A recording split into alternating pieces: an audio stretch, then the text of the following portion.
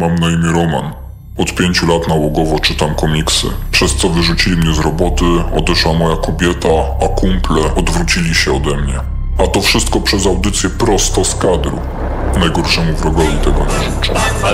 Relacje z imprez, ciekawi goście oraz recenzje komiksów z całego świata. Wszystko o sztuce komiksu i jeszcze więcej tylko w audycji prosto z kadru. W każdy czwartek o 17.30. Witam w 263 odcinku audycji Prosto z kadru za sterami Wojciech Lisiecki, przed mikrofonem Filip Bąk. E, na początku zachęcam Was do tego, żeby w tą niedzielę wybrać się do Wągrowca, ponieważ w Miejskim Domu Kultury odbywać się będzie Fantazy Games. E, jest to turniej gier planszowych i kiermasz fantazy. Otóż będzie tam również kącik komiksowy, na którym to e, będą prelekcje redaktora z Batcave, spotkanie z Pawłem Zychem oraz po prostu prosto z kadru na żywo.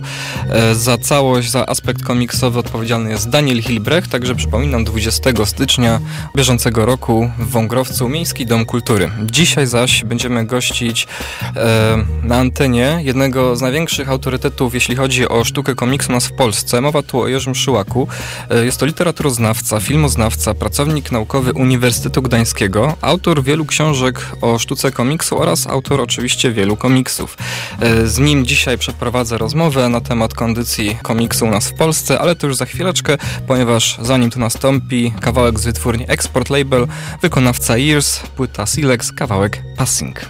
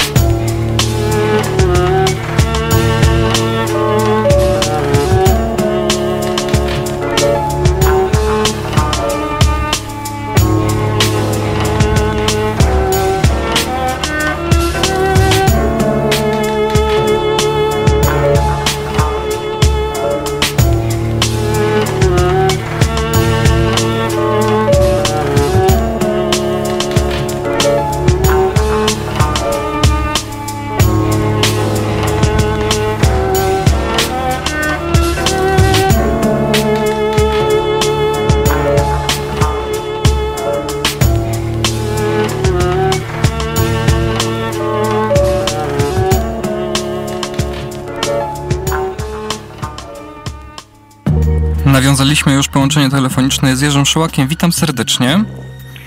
Dzień dobry panu, dzień dobry państwu. E, przez ostatnie trzy tygodnie na antenie Radia Afera gościłem wydawców, którzy ze swojego punktu widzenia oceniali e, rok ubiegły, jeśli chodzi o rynek komiksowy, o środowisko komiksowe. E, również chciałbym się spytać, jak pan widzi obecną sytuację na, w środowisku komiksowym, ale może nie jeśli chodzi o rok 2012, tylko przez pryzmat ubiegłych lat. Czy to środowisko, czy ludzie w nim są zgrani, czy też podzieleni, czy się rozwijają, tudzież czy stoją w miejscu? Mnóstwo pytań jak na, e, jak na początek. Nie wiem, czy nie wymagałoby, e, czy odpowiedź na to pytanie nie wymagałaby najpierw sprecyzowania, czym jest środowisko komiksowe. Ponieważ e, no, w ogólnym przekonaniu środowisko komiksowe to czytelnicy komiksów, ale ci czytelnicy są bardzo zróżnicowani. Mhm. E, to twórcy komiksów, ale to też są ludzie, którzy robią bardzo różne komiksy. I to wydawcy komiksów, którzy też dzielą się na takich, którzy chcieliby wydawać komiks masowy, popularny, yy, zachodni i tych nie interesuje w ogóle, czy Polacy rysują komiksy, yy, a jedynie to, jakie komiksy czytają. I takich wydawców, którzy specjalizują się w wydawaniu komiksów artystycznych yy, albo nawet wyłącznie komiksów polskich i, i, i to jest zupełnie inna grupa wydawców niż ci wcześniej wymienieni. Ogólnie rzecz biorąc, e, odpowiadając na pytanie o, o to, co się tam wydarzyło, ja myślę, że, że, że ostatnimi czasy jest dobrze. E, pojawia się sporo różnych, e, różnych interesujących tytułów. Pojawiają się inicjatywy, które mają promować polskich twórców komiksowych. I pojawiają się również albumy, które są efektem owych promocji. E, innymi słowy, rozpoznajemy lepiej własne możliwości i wyciągamy na powierzchnię, często z ukrycia, e, twórców, o których, e, którzy od lat coś robili, a o których niekoniecznie mieliśmy jakiekolwiek pojęcie. Tutaj najlepszym dowodem jest antologia Polski Komiks Kobiecy, która we wstępie ma takie stwierdzenie, że, że powstała dlatego, że w ogólnym przekonaniu, to ogólne przekonanie e, akurat zostało wyrażone przeze mnie, co w tym wstępie też jest napisane, e, panuje przeświadczenie, że ko- komiksu kobiecego w Polsce nie ma. No i ten album jest zaprzeczeniem tej tezy. E, tak, no jest to bogaty zbiór prac e, rysujących kobiet, tak? Kobiet, które rysują w Polsce. Niektóre robią to od kilkunastu lat. Są tam, pojawiają się tam wywiady też z osobami, które e, na arenie komiksowej istnieją od lat kilkudziesięciu. Ale oczywiście główna siła uderzeniowa to są młode kobiety, które e, rysują teraz, dzisiaj, wyrażają swoje zdanie. Między innymi wyrażają je na stronach internetowych, ponieważ oczywiście wydawcy bywają u nas jednak mało przekonani do lansowania polskiego komiksu kobiecego. E, Ja wszystkim słuchaczom przypominam, że jest możliwość zadać e, pytanie mojemu gościowi. Wystarczy, że wejdziecie na stronę Prosto z Kadru na Facebooku. I również jeśli mówimy tutaj o polskich komiksach, e, mam pytanie od słuchacza odnośnie Pana współpracy w przyszłości z Wojciechem Stefańcem. Czy się doczekamy? Czy są jakieś konkretne plany, pomysły? Wojciech Stefaniec, e, z Wojtkiem Stefańcem zrobiliśmy razem jeden komiks. Powiedzieliśmy sobie, że nie będziemy robić następnej części trylogii e, Szminka Szelki Szalik e, razem, ponieważ każdy album powinien robić kto inny. E, Ale umówiliśmy się, tak, umówiliśmy się na następną rzecz zrobioną razem, e, przy czym Wojtek Stefaniec musi najpierw zrobić coś, co robi z innym scenarzystą. Jest to duża historia kryminalna, która e, jeżeli dobrze pójdzie, to będzie liczyła 120 lub 140 stron. Ja nie widziałem tej historii. Rysownik mi tylko o niej opowiadał i wydaje mi się, że ona się ukaże w tym roku i, i kiedy on to skończy, to wtedy usiądziemy razem do narysowania następnego, następnego komiksu. Nie jest to jedyny komiks Pana dorobku. Jest Pan autorem wielu pozycji, głównie scenariuszu, ale rozpoczął Pan również e, kiedyś od rysowania. Dlaczego Pan przestał rysować komiksy? To żeby rysować komiksy, trzeba rysować komiksy. To było jeszcze, znaczy ja zacząłem rysować komiksy y, na studiach.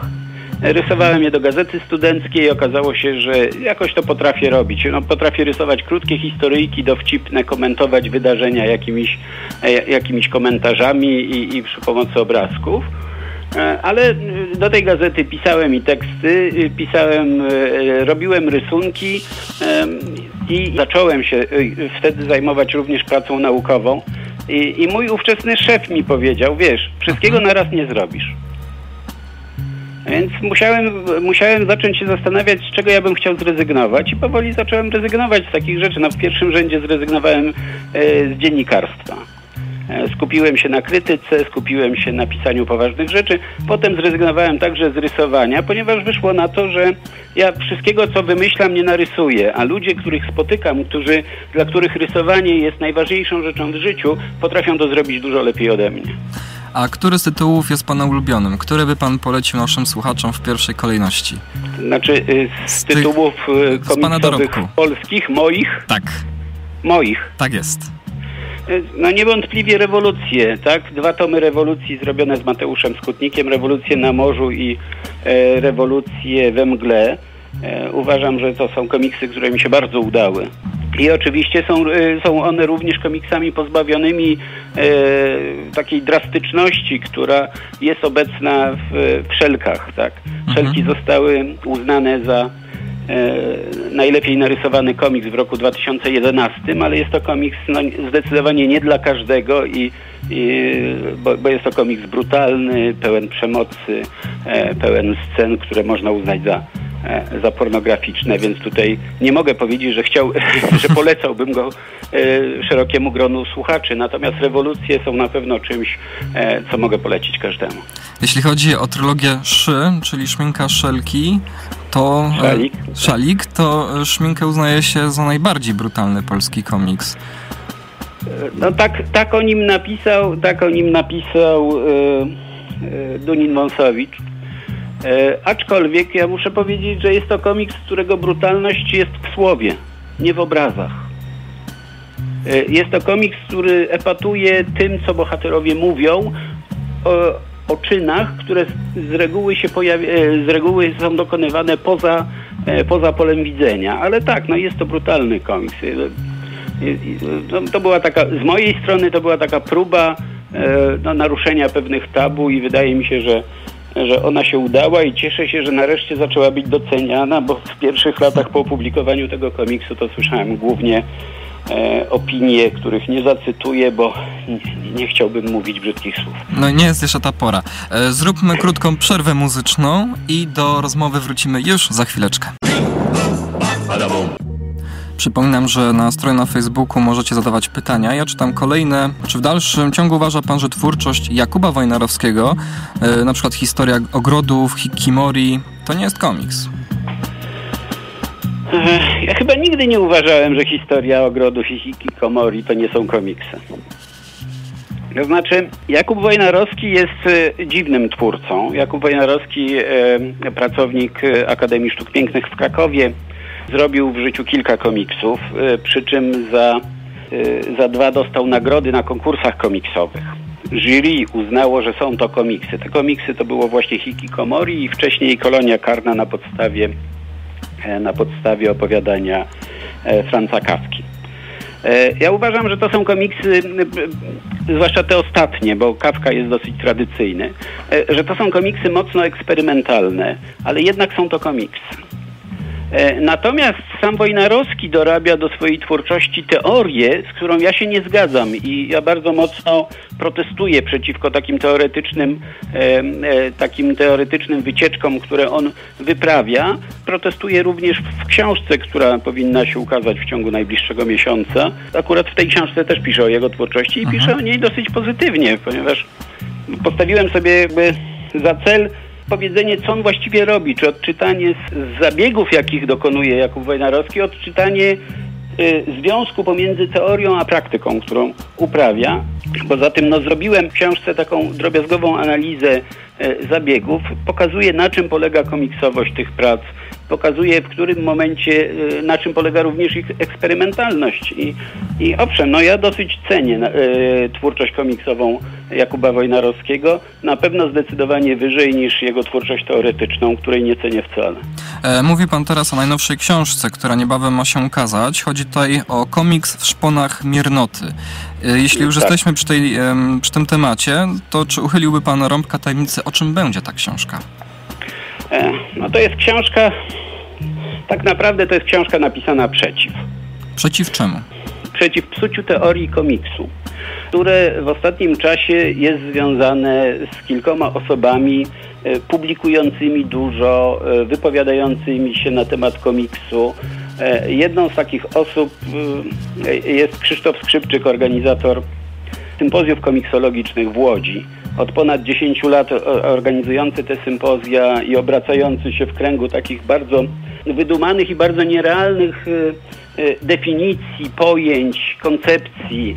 Moim zdaniem ten człowiek używa, y, używa spotkania takiego spotkania miłośników komiksu do tego, żeby, żeby atakować ludzi, których nie lubi, żeby oskarżać ich o najrozmaitsze straszne rzeczy itd., tak itd. Tak no i, i, i drugim przypadkiem psucia teorii komiksu jest koncepcja story artu, z którą wyskoczył Jakub Wojnarowski, pisząc o niej e, na łamach artu, na łamach zeszytów komiksowych i wreszcie, e, i wreszcie w książce o kulturze niezależnej w Polsce w latach 89-2009 E, w której po prostu zignorował 20 lat komiksowego dorobku Polaków, przedstawiając swoją własną teorię komiksu artystycznego, czy nawet awangardowego i jakby pomijając to, co, to, co nasi twórcy zrobili naprawdę.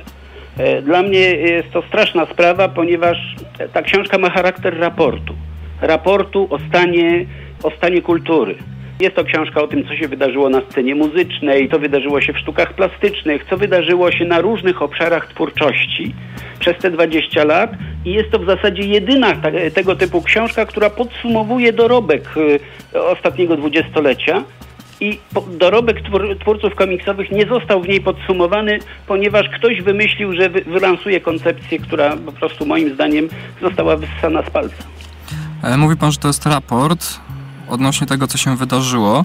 Rozwija Pan szczegółowo e, sytuację, zjawiska, którymi połączony jest Skrzypczyk oraz Wojnarowski. Czy oczekuje Pan odpowiedź z ich strony na Pańską publikację? E, ja już chyba dostałem odpowiedź. E, znaczy, ja z, z Krzysztofem Skrzypczykiem spotkałem się nie tak dawno na sesji naukowej w Łodzi. On tam był bardzo agresywny. No, jakby, e, atakował mnie, atakował to, co ja mam do powiedzenia i, e, i, i, i jakby wykorzystywał tą sytuację konferencji do tego, żeby mówić nie na temat, z którym przyjechał, tylko na temat tego, no, jaką ja mu krzywdę robię, atakując jego koncepcję sympozjów, komiksologii itd., tak itd. Tak z Jakubem Wojnarowskim wymieniliśmy się mailami. On zdaje się wycofywać e, z tych e, pozycji, które zajmował. E, dla niego był to rodzaj zabawy, eksperymentu czy czegoś innego. Ja niestety nie mogę tego tak ocenić, bo, bo jako człowiek związany z ludźmi, którzy przez 20 lat robili komiksy, uważam, że, że jeżeli ofiarą eksperymentu pada kilkanaście lat czyjejś pracy, to no to coś złego się stało. Powiedział pan, że jest przeciw e, teorii komiksu, teorii wydumanej. E, no tutaj myślę, że większość słuchaczy nie do końca rozumie termin story artu oraz e, w ogóle nie, kojarzy teorii komiksu, aczkolwiek myślę, że osoby, które słyszą to, mogą pomyśleć, że jeśli pan Wojnarowski stworzył nowy termin story art, to może mieć jakieś tam prawo, żeby nazwać ten pewien eksperyment komiksowy. Wie pan, to jest, to znaczy tak, ja powiem e, w ten sposób. Książka jest przeznaczona dla no, stosunkowo wąskiego grona ludzi zainteresowanych e, jakby uporządkowaniem wiedzy teoretycznej. Ona wyjdzie w niedużym nakładzie, e, jest adresowana przede wszystkim dla tych, którzy o komiksie piszą, czy, czy, czy komiksem się zajmują. Natomiast co trzeba powiedzieć? No, komiks jest sztuką narracyjną. Problem z komiksem zawsze polegał na tym, że on nie był sztuką plastyczną do końca, ponieważ nie, nie chodziło o tworzenie obrazków, tylko o opowiadanie przy pomocy obrazków historii. Z tego względu komiks lokuje się bliżej, e, bliżej literatury. Aha. Przy pomocy obrazków opowiada się historię. No, najwyżej ceniona odmiana komiksu jest nazywana powieścią graficzną ponieważ y, y, jest to taki rodzaj opowiadania obrazkami, który uzyskuje już y, skomplikowaniem właściwie powieści współczesnej. Natomiast Jakub Wojnarowski jest przede wszystkim artystą plastykiem, który wystawia swoje prace, ewentualnie jest kuratorem wystaw prac innych.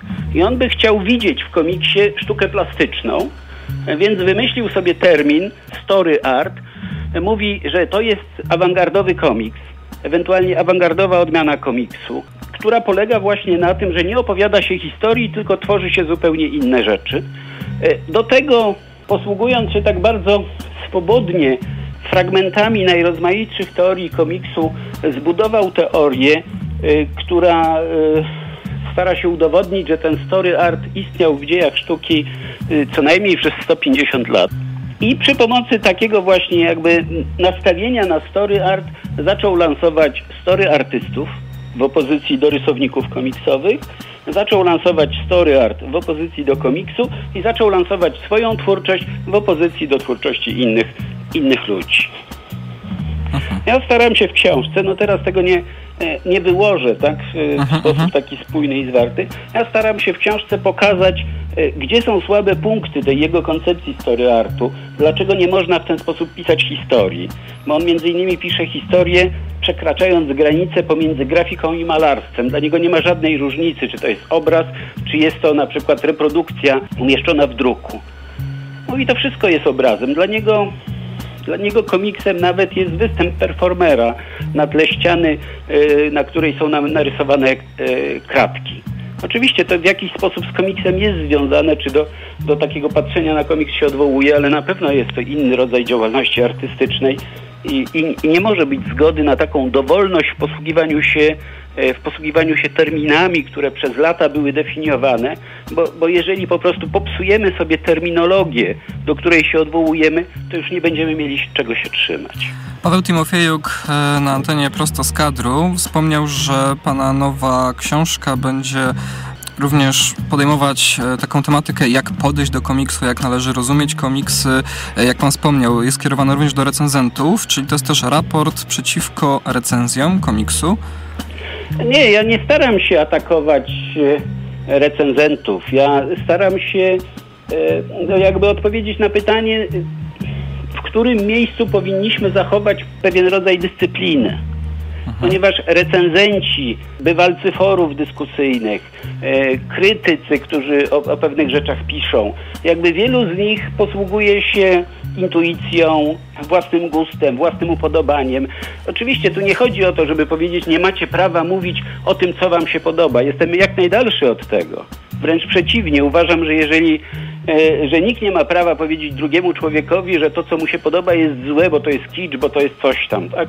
Nie, podoba ci się to tak, ale, ale pomiędzy poczuciem, że mi się coś podoba i będę to chwalił, bo mi się to podoba, e, a poczuciem, że ja teraz stworzę dzieło naukowe, w którym udowodnię, że to jest wielka sztuka, a e, a żeby to udowodnić, będę kłamał, naciągając argumenty, cytując nieprawdziwie, podając niewłaściwe fakty itd., tak itd., tak no jest zasadnicza różnica. To znaczy, mi się wydaje, że niektóre e, takie recenzje mogą wynikać z tego, że dana, dany tekst ma zadanie popularyzować medium, a nie być obiektywną po prostu krytyką. Nie, no dla, dlatego mówię, nie mam nic przeciwko mhm. najrozmaitszym recenzjom publikowanym w różnych miejscach. Ja, e, ja tylko upominam się e, o to, żeby nie psuć teorii komiksu i, i dosyć mocno odgraniczam właśnie miejsce. Tak? No, jest dla mnie różnica pomiędzy wystąpieniem fanów, e, którzy e, chwalą coś, bo im się to podoba. Fani mogą chwalić co chcą i kiedy chcą. E, a publikacją, która ma wrażenie publikacji naukowej. Jakby kłopot z sympozjami komiksologicznymi w Łodzi jest taki, że one od ponad 10 lat są przedstawiane wszędzie jako imprezy naukowe. One dostają dotacje na to swoją działalność, na organizowanie kolejnych spotkań naukowych. Tam nikt nie uprawia nauki, a ci, którzy uprawiają naukę, są stawiani do kąta przez organizatora tych imprez, ponieważ on się nie zgadza na to, żeby ludzie uprawiali naukę tak, jak uważają, tylko tak, jak on uważa, że powinni to robić. Nienaukowe są również wywody Jakuba Wojnarowskiego opublikowane w książce, w której powinny być rzetelne fakty i, i, i naukowe twierdzenia. E, przejdźmy... Natomiast mhm. E, cała masa ludzi, którzy chcą powiedzieć, że coś im się podoba, oczywiście. No, jest, mamy obszar wolności ogromny i, e, i wraz z dostępem do internetu coraz większy. I, i nigdy nie miałbym zamiaru z takimi ludźmi walczyć, ani, ani mówić im, że im nie wolno mówić, że lubią coś, a nie lubią czegoś innego, nawet jeśli powiedzieliby, że nie lubią mnie. E, na zakończenie jeszcze jedno pytanie od słuchacza, takie ogólne, ale e, jakie czyta pan komiksy, powieści graficzne? Co by pan polecił słuchaczom?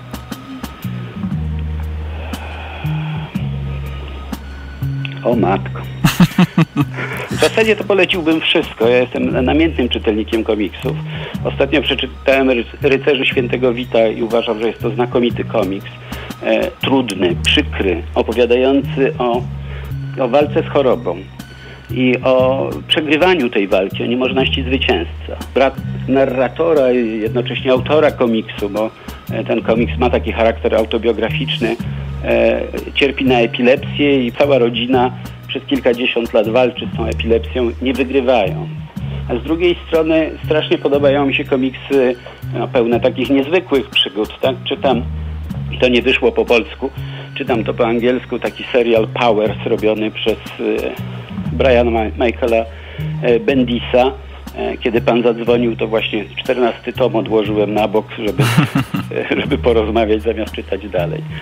E, podobają mi się takie rzeczy jak Habibi Craiga Thompsona, wydane przez y, Pawła Timofiejuka, o którym to wspominaliśmy, ale podobają mi się również komiksy o superbohaterach y, w rodzaju, e, w rodzaju Batmana czy Wolverina. Czy bierze pan do ręki mangi? E, tak, oczywiście, że tak. Przecież to komiks. No niektórzy mają swoje własne osobliwe temat, zdanie na temat e, komiksu japońskiego.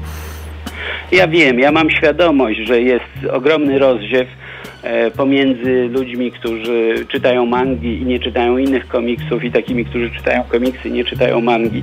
E, Ja nie, nie zgadzam się z miłośnikami mangi, którzy udowadniają, że to jest jakiś tam lepszy rodzaj komiksu z takich czy innych przyczyn.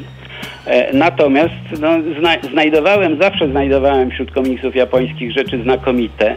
E, e, Byłem czytelnikiem komiksu Samotny Wilki Szczenie na długo zanim on zaczął się w Polsce ukazywać. Uwielbiam komiks Blue Kiriko Nananan, taką opowieść o miłości dwóch uczennic w szkole średniej. Podoba mi się Otomo, w zasadzie wszystko co on zrobił szalenie mi się podoba. Ostatnio jeden z moich doktorantów namówił mnie na przeczytanie muzyki Marii i uważam, że, że jest to świetny komiks. No, pewnie długo można byłoby wymieniać te komiksy japońskie, które uważam za y, przykład znakomitej roboty No e, niestety, artystycznej i, i narracyjnej. niestety, niestety czas antenowy już dobiega końca, także e, nie będziemy dalej wymieniać e, komiksów, które e, warto polecić. Dziękuję serdecznie za poświęcony czas. Dziękuję za zaproszenie do audycji. Bardzo mi miło, że pan owe zaproszenie przyjął. Moim dzisiejszym gościem był Jerzy Szyłak. Natomiast e, żegna się z wami również e, Wojciech Lisiecki, odpowiedzialny za muzykę oraz mówiący do mikrofonu Bąk Filip. Zachęcam was, żeby znaleźć prosto z kadru na Facebooku, na YouTubie i oczywiście włączyć Radio Afera za tydzień o 17.30. Czołem.